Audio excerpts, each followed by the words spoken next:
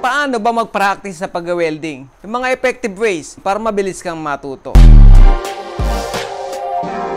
Magandang araw po sa inyo lahat mga best friend at mga Ironmans. Kamusta na po kayo? Sana nasa mabuti po kayong kalagayan. Salamat po sa may kapal sa panibagong pagkakataong muli tayong makapag-usap-usap. Alam nyo, isang bagay na kahinaan nating mga tao ang pagka mag-aaral tayo ng isang bagay. Ang gusto natin makuha natin agad ng isang upuan lang. Lahat ng bagay may method. Meron niyang paraan kung paano mo gagawin. Pero yung methodology nun, hindi mo basta-basta makukuha ng isang upuan lang. Kaya nga sabi ng isang speaker, There are a hundred of young men who would die for the truth, but just few are willing to spend five years to know what the truth is. Tayong mga tao, gusto natin action agad, gusto natin alam agad natin. Hindi po pwede yon. Lalo na pagka zero knowledge po tayo sa isang bagay, dapat aakit ka ng hagdanan, una mong aapakan alin? Yung umpisa, di ba? Kaya nga sabi nung kanta, When you sing, you begin with Do, Re, Mi. Do, Re, Mi. The first three notes that happen to be Do, Re, Mi. Di ba? Pag mag-aaral tayo mag-welding, paano ba ang tamang pagpapractice? At unang-una, palagi ay ang safety first dapat nakagear tayo. Dapat meron tayong auto darkener.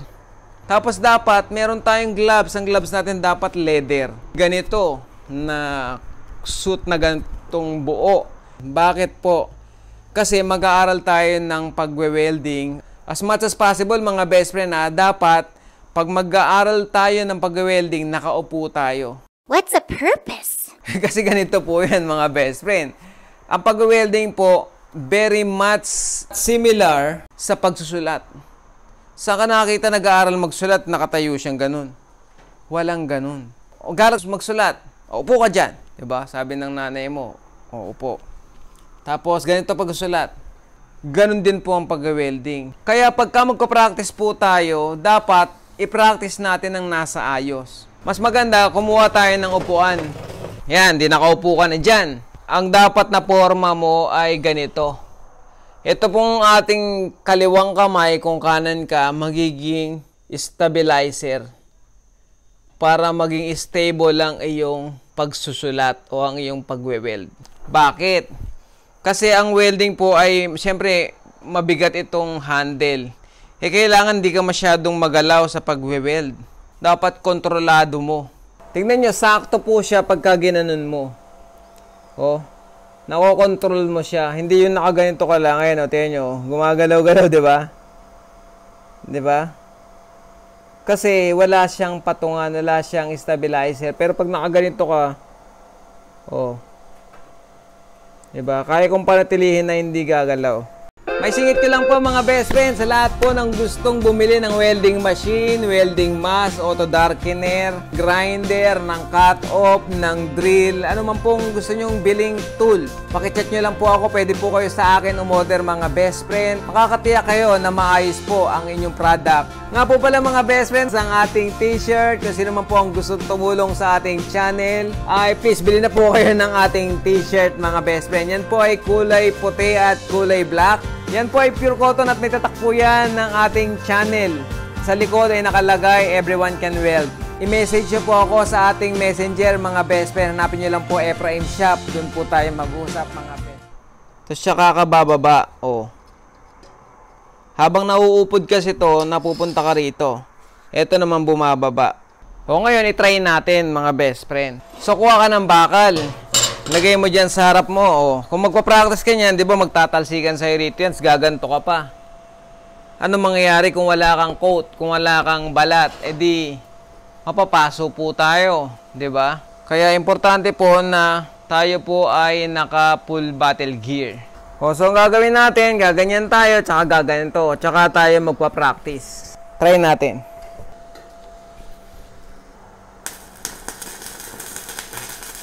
So ngayon, nakuha na natin yung forma natin, mga best friend, ano? Na pwede tayong mag-practice na hindi ka masyadong mahihirapan. At kontrolado mo yung paggalaw mo sa iyong welding rod kahit mahaba dahil ikaw ay may stabilizer. yung iyong kaliwang kamay. Ngayon, ang pwede natin pag-aralan mga best friend sa umpisa, kumbaga sa basketball ay dribbling muna yun, dribbling. Yun pong button bid. Yung button bid po, yun ay karaniwang itinuturo sa mga school. Kasi pag nasa school po tayo, tandaan natin, tinetrain po tayo dyan for industrials. Tinetrain tayo dyan para maging welder ka sa barko. Eh, alam nyo naman po sa barko, mga I-beam yan, tsaka malalaking pipe, mga talagang malalaki na bakal. Ngayon, ang spot na kailangan doon ay malaki. Hindi pwedeng spot mo sa mga I-beam ay yung spot na ini-spot mo sa mga tubo na ginagawa mong double deck o ginagawa mong mesa. Hindi po ganun. 'di ba?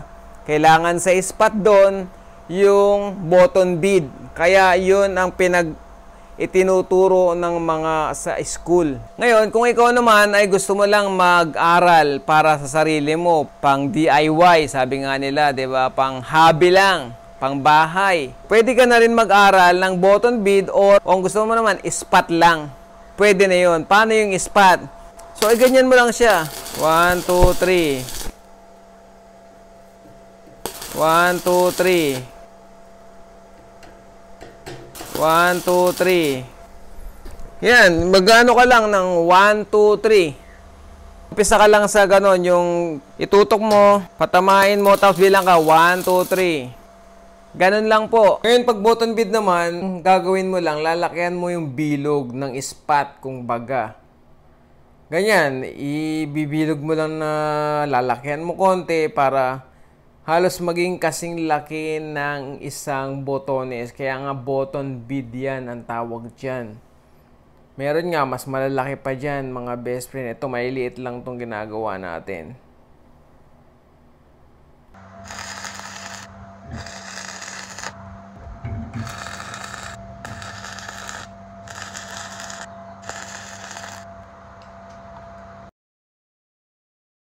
So yan mga best friend, ito ang ating spot at ito naman ang ating button bead. So ganun lang, magagamit natin yung button bead na yan sa pag ano, sa pag-aral na makontrol natin ang ating mga kamay. Kaya isa yan sa mga ginagawa at pinagsasanayan ng mga beginner sa pagwe-welding. Ngayon, tungkol naman sa ating welding beads, mga best friend, maraming mga tinatawag na different types of waving sa ating welding beads. Meron tinatawag na dragging. Ibig sabihin nun, diretso lang siya. Okay? Ibig sabihin, dragging, diretso lang, idadrag mo lang siyang ganun. Pero dahan-dahan lang yon mga best friend. Meron naman zigzag.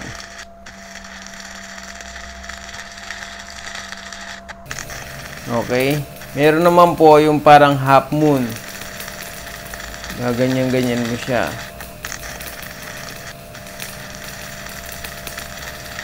Kabilaan yan, meron naman pag ganun. Depende sa iyo kung saan ka masasanay. Diba? Ganun. Meron naman yung pabilog.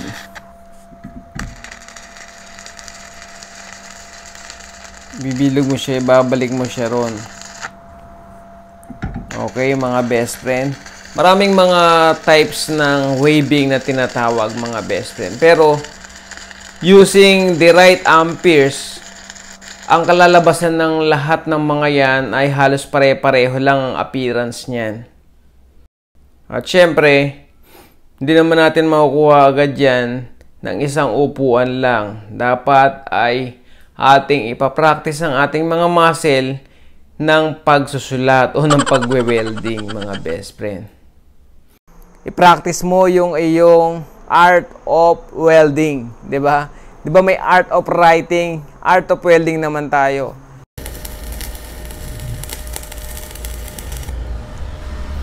Yon, ganun lang mga best friend. Lagi lang po tayo magpa-practice at ang sekreto dyan mga best friend, lalo na pag mag-uumpisa pa lang po tayong mag-aral, madalas yan ay mahirap mga best friend. Gaya ng sinabi nila, everything is hard until it become easy. Eh, lahat ng bagay mga best friend ay mahirap sa pasimula. Pero wag po kayong maiinip sa pagkatuto at lalong wag kayong maiinis. Dapat tuloy-tuloy lang po ang pag-aaral mga best friend Step by step, dapat i-enjoy mo yung process. Sabi nga ng kasabihang Ingles mga best friend, nothing in this life is worthwhile that will not begin with a challenge. Talagang challenging yan sa umpisa.